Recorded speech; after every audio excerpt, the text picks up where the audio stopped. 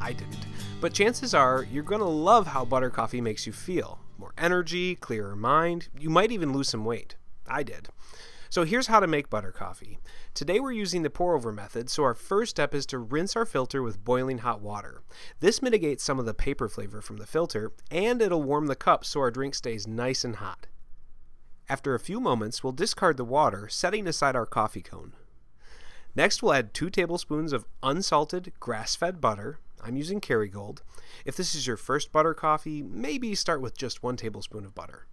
Then we'll add 2 tablespoons of MCT oil, which is just a mix of coconut and palm kernel oils. If this is your first butter coffee, definitely start with just 1 tablespoon of MCT oil. Next, we replace our coffee cone, add some freshly ground coffee beans, and start brewing. And remember, the better the bean, the better the buzz. So patronize your local roaster. We'll bloom the grounds first with just a splash of hot water. This releases some carbon dioxide and other gases trapped in the roasting process. Then we'll slowly spiral the water over the grounds, but never touch the sides of the filter. When we're halfway done brewing, we'll remove the coffee cone and stir our coffee. A vigorous stir with a spoon or fork would do just fine, but we'll give it the sensual foaminess of a latte with a handheld milk frother. I got this one for less than 20 bucks on Amazon.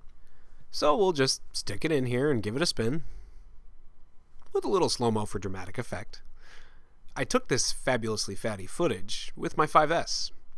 At the end of this video, I'll link to another 5S project of mine. Last winter, during the polar vortex, I built a cheap microscope with my iPhone to catch ice crystals in the act of forming. It was pretty cool. No, seriously, it was 10 below. I got frostbite shooting that video. Anyway, our coffee cone goes back on, and we finish brewing the coffee. While waiting for the last few delicious drops of coffee to fall, now's a good time to put away and clean our supplies. And our butter coffee's ready. We'll give it a taste Mmm, like sunshine in a cup. And that's all there is to it.